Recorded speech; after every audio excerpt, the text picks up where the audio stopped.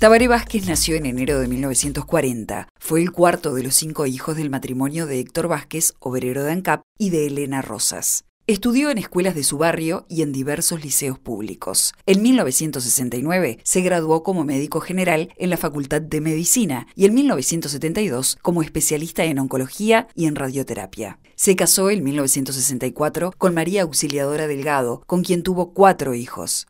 Su esposa falleció el pasado 31 de julio. Desde 1985 es profesor director del área radioterapia del Departamento de Oncología de la Universidad de la República. Es aficionado al fútbol e hincha del Club Progreso. Fue presidente de esa institución que durante su gestión logró el ascenso de tercera división a primera y salió campeón uruguayo en 1989. También es aficionado al carnaval e hincha de la murga de la Teja Los Diablos Verdes, e incluso en algunas oportunidades se ha mostrado tocando el redoblante con la murga.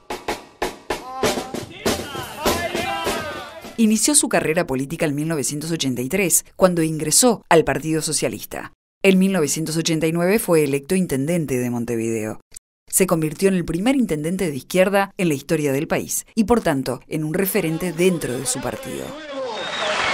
Intendente de Montevideo, doctor Tabaré Vázquez. Tabaré Vázquez fue candidato a la presidencia por primera vez en 1994. En esta elección, que ganó Sanguinetti, el resultado fue tan ajustado que apenas había un punto de diferencia entre los tres candidatos más votados. En las elecciones del 99 se implementó el sistema de balotaje. En su tercera postulación en las elecciones de 2004, fue electo presidente de la República con 50,45% de los votos, convirtiéndose así en el primer presidente de izquierda en la historia del país. Festejen uruguayos, festejen, festejen que la victoria de ustedes.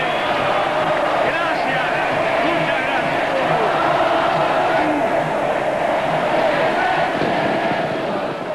En 2010, Vázquez fue electo presidente por segunda vez, ganando en segunda vuelta frente al candidato del Partido Nacional, Luis Lacalle Pou. Durante su mandato, marcado por fuertes políticas sociales, se dio un histórico crecimiento económico y casi todos los indicadores de desarrollo tuvieran una mejoría destacada.